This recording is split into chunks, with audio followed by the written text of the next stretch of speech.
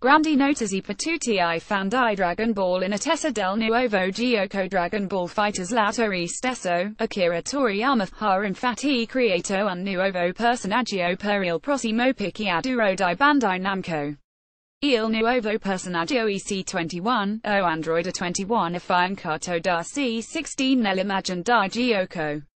Purtroppo non si sa ancora se sarà giocabile difatti lo screenshot e preso da una cutscene mentre rivelati con un'altra immagine, saranno giocabili sia tensione con l'outfit di Dragon Ball Super e Yamcha con il design preso dalla saga dei Saiyan.